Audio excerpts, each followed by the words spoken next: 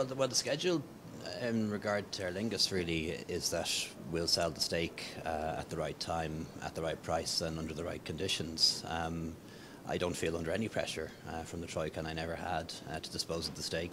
Um, some people were trying to put me under pressure about a year ago to do so, but uh, since then the share price has appreciated uh, significantly. So um, I don't feel un- under any pressure to do so, but I, I, do think that it's the right thing to do uh, because really since privatisation the government has had a reactive policy to Ryanair.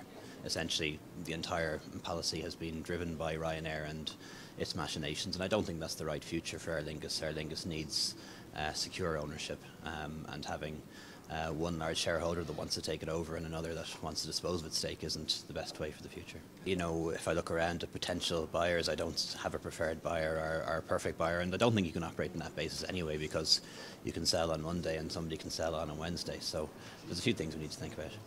Well, I think there's probably a few more chapters to go in relation to the Ryanair takeover bid. Um, first of all, the Commission hasn't made its formal decision uh, Ryanair has indicated that they will appeal to the European Court of Justice, and also there's a Europe, uh, UK Competition Commission um, investigation underway, and that's crucial because they have the power to force Ryanair to dispose of its stake, and were they to do that, that opens up all sorts of opportunities.